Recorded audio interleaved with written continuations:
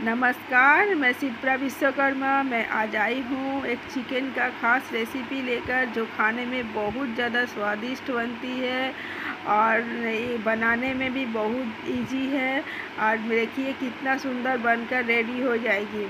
और देखिए मेरे पास 500 ग्राम चिकन है, मैं अच्छी तरह से धोकर रखी हूँ। इसमें मैं हल्दी, नमक डाल दे रही हूँ। और इसे मैं तीन चम्मच फ्रेश दही डाल दूँगी। घर का ही दही है, तीन चम्मच मैं फ्रेश दही डाल दे रही हूँ। और इसको फिर दही डालकर, नमक, हल्दी और दही डालकर मैरिनेट करके मैं आधा घंटा के लिए ढककर रख दूँगी।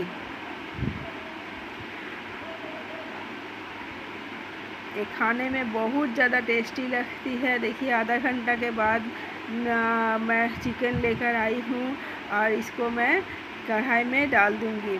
और थोड़ा सा पानी मैं, देखिए थोड़ा सा ही पानी मैं डाल दी इसमें। और ये देखिए, प्याज है, थोड़ा बड़ा प्याज कटा हुआ है, थोड़ा छोटा प्याज कटा हुआ है। और इसको भी मैं डालूँगी इसमें, थोड़ा टमाटर है और इसमें प्याज का मात्रा थोड़ा ज़्यादा ही लगता है लहसुन है कूचा हुआ लहसुन है अदरक है कद्दूकस किया हुआ अदरक है, ये धनिया, जीरा, गरम मसाला का पाउडर है। देखिए, तेल मैं ऊपर से मैं डाल दे रही हूँ। इसके बाद मैं इसको अच्छी तरह से मैं चलाकर लो लो, मीडियम फ्लेम में रख दूँगी। सिम आँच करके मैं इसको थोड़ा दस मिनट के लिए मैं छोड़ दे रही हूँ।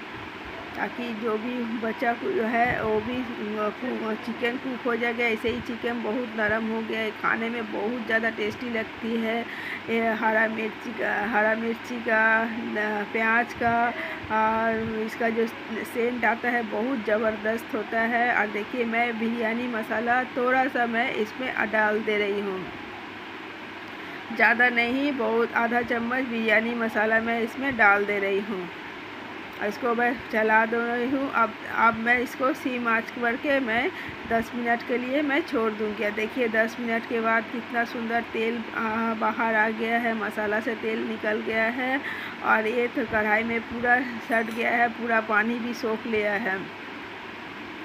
अब मैं कढ़ाई से पूरा निकाल ले रही हूँ। इसमें ऊपर से मैं थोड़ा धनिया पत्ता ऐड कर दे रही हूँ और ये चिकन मेरा बनकर रेडी हो गई है। ये खाने में बहुत ज़्यादा टेस्टी लगती है और ये इसका खुशबू भी बहुत अच्छी निकलती है। पूरा फ्राई चिकन रहता है। इसको आप लोग भात के साथ खाइए, पराठा, रोटी के साथ खाइए, पुलाव के साथ खाइए, किसी भी चीज़ के साथ खाइए, बहुत ही अच्छी लगती है।